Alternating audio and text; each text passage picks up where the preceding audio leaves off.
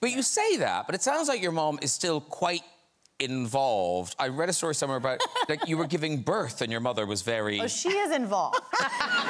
when she's there, she's involved, and then she goes. Um, oh, oh, she was like in my vagina. I mean, it was like you couldn't. A mother couldn't get more inside of a birthing vagina than my mother, and and she had these like.